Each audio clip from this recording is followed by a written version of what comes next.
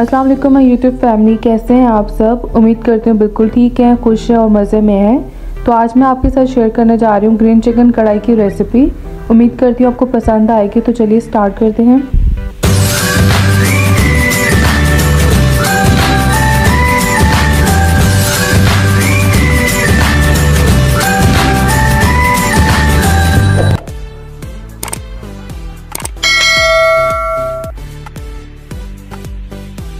बिसमीम पैन लेंगे, उसके अंदर हम ऑयल डालेंगे।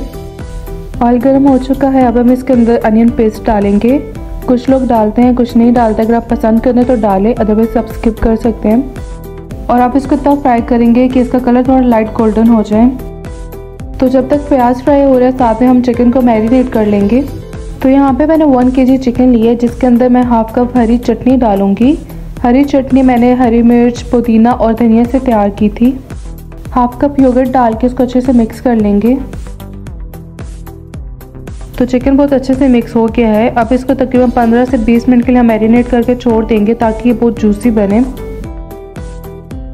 तो जब तक हमने चिकन मैरिनेट किया था, साथ में हमारा प्याज भी लाइट गोल्डन हो चुका है। अब इस पॉइंट पे हम इसके अंदर जिंजर और गार्लिक का पेस्ट डालेंगे। और अब इसको तब फ्राई करेंगे कि इसका कलर थोड़ा डार्क गोल्डन हो जाए। तो यहाँ पे आप देख सकते हैं, ये बहुत अच्छे से गोल्डन हो चुका है। अब इस पॉइंट पे हम इसके अंदर मैरिनेटेड चिकन डालेंगे और इसको अच्छे से मिक्स कर लेंगे।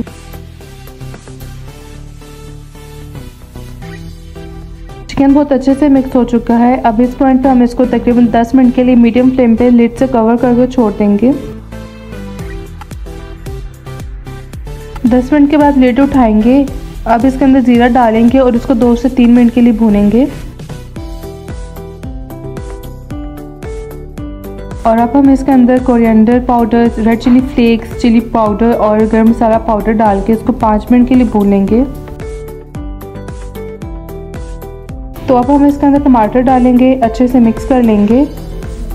योगर्ट डालेंगे और इसको पाँच मिनट के लिए तकरीबन लिड से कवर करके छोड़ देंगे।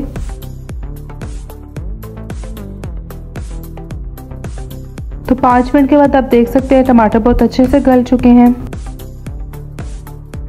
अब इसके अंदर हम हाफ़ कप हरी चटनी डालेंगे और इसको तकरीबन छः से सात मिनट के लिए बहुत अच्छे से भून लेंगे।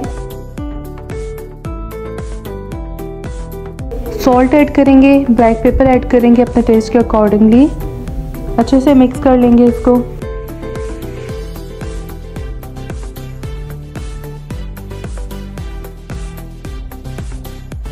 तो यहाँ पे आप देख सकते हैं कढ़ाई बहुत अच्छे से भून चुकी है। और अब हम इसके अंदर ग्रीन चिलीज डालेंगे, इसको मिक्स करेंगे। और साथ में अब हम इसके अंदर क्रीम डाल देंगे, अच्छे से मिक्स कर लेंगे।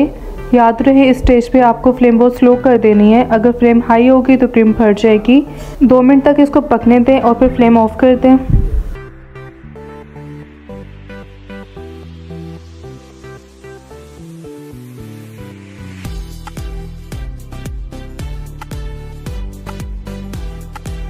तो हमारी मज़ेदार सी कढ़ाई तैयार है। कुछ लोग इसके अंदर ग्रीन फ़ूड कलर का इस्तेमाल करते हैं बट मैंने नहीं किया। और आप देख सकते हैं ये लाइट सा कलर कितना खूबसूरत लग रहा है। ये कढ़ाई खाने में बहुत लजीज होती है। इसका फ्लेवर काफ़ी यूनिक होता है। और अब इस कढ़ाई के फ्लेवर को इन्हेंस करने के लिए मैं इसके अंदर स्मोकी फ्लेवर दूँगी, जिसके लिए मैंने कोयले को गैस फ्लेम पर छोड़ दिया गर्म होने के लिए। कोयला अच्छे से गर्म हो चुका है, अब इसके अंदर कुछ ड्रॉप्स आल के डालेंगे और फ़ौरन से इसको लिड से कवर कर देंगे।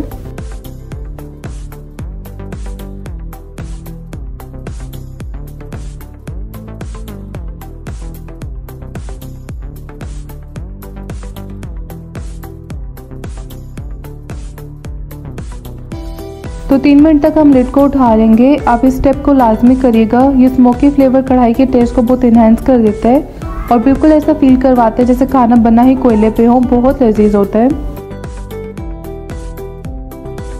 तो मज़ेदार से ग्रीन चिकन कढ़ाई तैयार है। उम्मीद करती हूँ आपको रेसिपी पसंद आएगी। अगर पसंद आए तो मुझे फीडबैक देना मत भूलिएगा। मिलते हैं एक नई रेसिपी के साथ, एक नई वीडियो में। जब तक के लिए अल्लाह हाफिज़।